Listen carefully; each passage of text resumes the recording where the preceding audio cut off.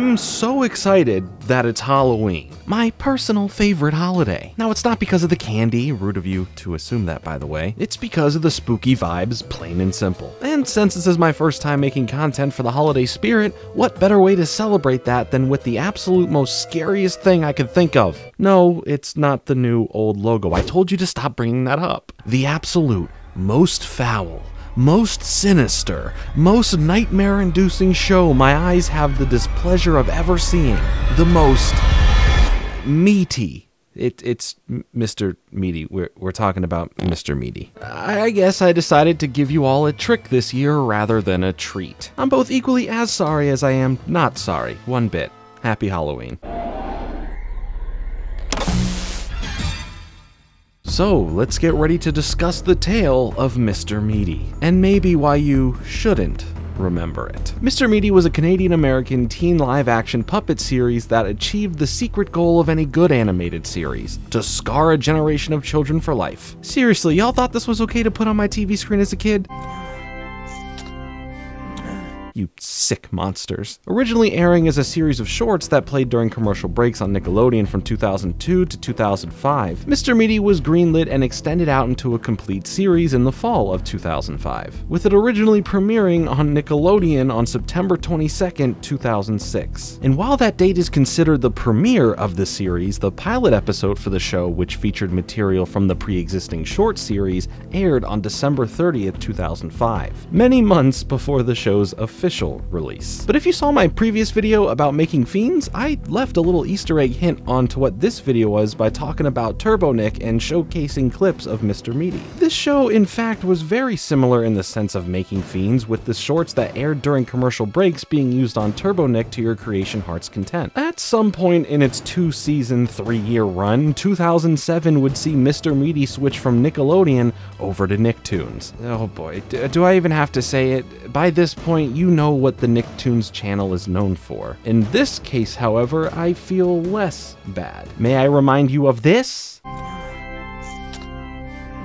Uh, yeah, now cue the fans of the show starting to raise their pitchforks. Wait, wait, wait, wait, hold on. Let me finish the video before I'm sacrificed to the content gods. Mr. Meaty was centered around two lazy teenage boys working a part-time job at the made-up Mr. Meaty fast food restaurant inside the fictional Scotchboro shopping mall. Josh was the charming, popular, uncaring, and self-centered 16-year-old protagonist who worked as the Mr. Meaty's cashier, while Parker was the nerdy, awkward, dumb 15-year-old Mr. Meaty fry cook who was happy to follow his friend Josh around. The story of two dudes who sling meat for a living, which is a lot safer than their old job, slinging old ladies.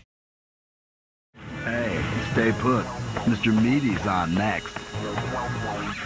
Josh and Parker are named after Drake Parker and Josh Nichols from the TV show Drake and Josh. That's apparently true. Along with Josh also just being named after one of the creator's nephews and Parker's appearance being based on one of his other nephews. Throughout the series, the two boys were often placed in bizarre, supernatural, grotesque, and often just downright disgusting situations, while also dealing with common teen problems like dating and peer pressure. Oh joy. Mr. Meaty was created by the Grogs, or alternatively Grogs Inc., a Canadian puppet company that existed from 1992 to 2009. The Grogs made a variety of TV shows and short films for Nickelodeon and Nick's off-branch channels over the years, including a series of shorts called Nanalan', a just as strange but this time child-friendly show that focused around three-year-old Mona's time at her grandmother's house. Don't even get me started on that. And the Nick Jr. short series Whoopi's Littleburg. Seriously, no wonder our generation is so messed up. The Grogs was founded by Jamie Shannon and Jason Hopley. The duo later brought on Jack Lenz to help with their various projects as an executive producer,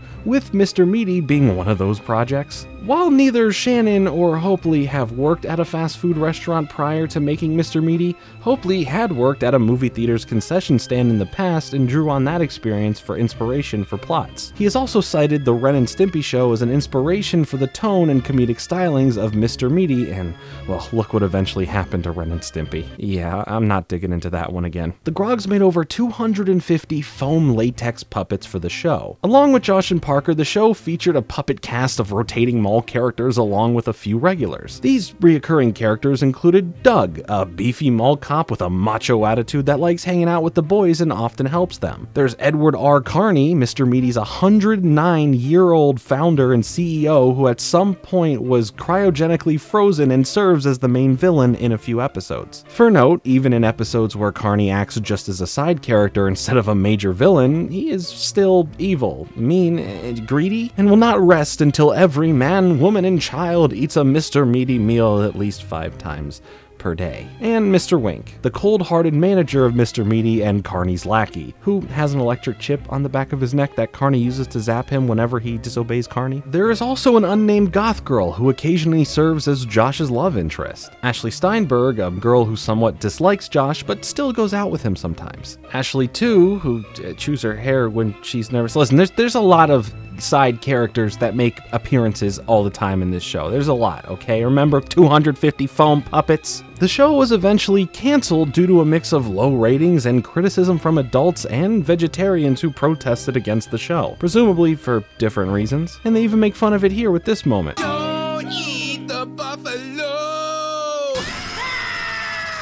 Every memorable Mr. Meaty episode was memorable for its own special brand of disturbing horror it forced upon its audience. But two episodes in particular are always cited as the main source of preteen nightmares, and in my case, adulthood nightmares. The episodes Roast Beef Barb and the notorious Tapeworm episode titled Mooch Master P. Roast Beef Barb focuses around Josh just after he has been broken up with for not being hot enough. To cope with his heartbreak, he decides to create the perfect girlfriend using the new Mr. Meaty Jiffy Meat Machine, which can make anything imagined out of meat. Josh and Parker go out and collect DNA samples from various girls Josh likes to combine into the perfect girl for Josh.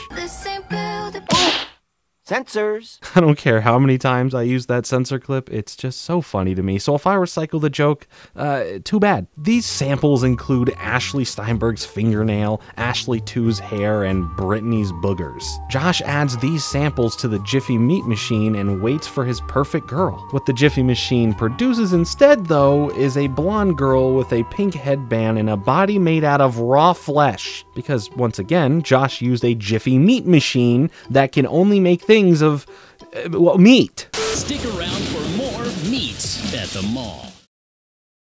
Mr. Meaty, next on Nicktoons Network. Disheartened and embarrassed by roast beef Barb, Josh tries to hide her from the public eye, before eventually accepting her as his girlfriend. But when Josh goes to collect Barb from her freezer room the next morning, he finds her cheating on him with a hunk of beef saying that he was so much hotter than Josh. So Josh and Barb end up breaking up and the episode ends. Fantastic. The notorious tapeworm episode Mooch Master P is one that haunts us all. Not just for its imagery, but for the disgusting implications it carries. This episode begins with Josh bringing in a homemade sandwich. Parker, enthralled by the concept of homemade food, begs Josh to give him just one bite, which Josh finally relents to. Parker then ends up eating nearly the whole thing, infuriating Josh, causing him to call Parker a moocher and telling him to go mooch somewhere else. Parker goes on to mooch somewhere else by getting food off of everyone in the mall, going so far as to mooch an uncooked hamburger patty Josh was planning on serving to the customers. After eating this uncooked patty, Parker's stomach begins to gurgle, an occurrence he originally writes off as just gas. But after which, strange things begin to occur. Parker finds that food is disappearing before he gets a chance to actually eat it. When he shows the phenomenon to Josh, Josh decides to record Parker attempting to eat a meatball to discover what's going on. This recording, however, when played back in slow motion, shows that an enormous tapeworm is living in Parker's stomach thanks to the raw patty he ate. To get it out, the boys tie a sausage to a fishing line to bait the tapeworm. They yank the tapeworm out of Parker's stomach and trap it in the fry fire basket. Afterwards, Larry, an Australian zookeeper, approaches the boys and offers to buy the tapeworm for $20. The boys agree and look on horrified as Larry commences to swallow the worm whole, and then the boys use the $20 to buy all the mooched victims their food back, and Parker promises no longer to be a moocher. Well, at least there's a moral in there. Sweet, 20 bucks. To put it simply, this show haunts my dreams, and not in a good way. There is something so uncanny with the design of the puppets mixed with all the disturbingly horrific imagery that as a kid's show really made me uncomfortable. But for some reason, I can't take my eyes away from it when watching it. I don't label this as a good or a bad show. I label this as the most weird, surreal piece of kids programming from a major network that I've ever seen. Watching it back now and facing my fears, this is something I could expect from Comedy Central, Adult Swim, or one of those YouTube channels that make very creepy yet oddly fascinating pieces of work. Seeing it in this light, the show kind of works as something not everyone could get into, but I totally see why some may actually find this mesmerizing, especially if you're grassily enlightened, or it may just cause you panic attacks. Anyway, I think this show is why I've stayed away from most puppet based properties, whether good or bad. Well, just stay away from the Happy Time murders in general. That's just some free advice. But yes, I am saying Mr. Meaty is the reason I can't watch The Muppets. Hey there, buddy. Don't be scared. We're only here for entertainment. Oh my gosh, is that Ray Romano? All right, buddy, you want to tussle? I will kill.